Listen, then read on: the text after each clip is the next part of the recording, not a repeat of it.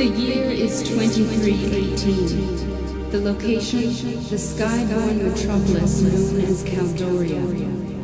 The Earth is finally at peace after a long, bloody battle against a few tyrants who sought total world domination. Having learned the hard way the evils of imperialism, the borders began to come down one by one. Finally, in the year 2117, the unified world was realized. Now, all that we have accomplished is being threatened by the power of time travel.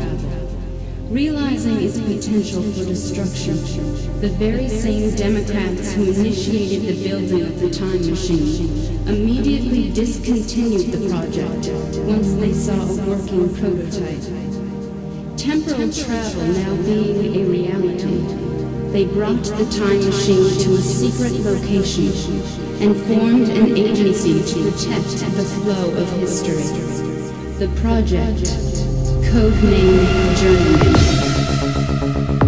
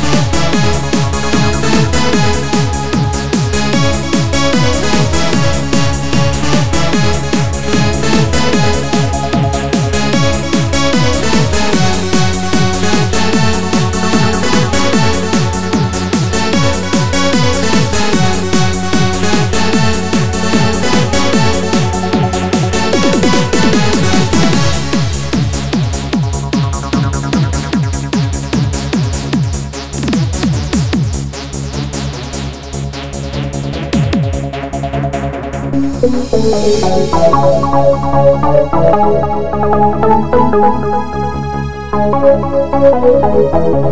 you.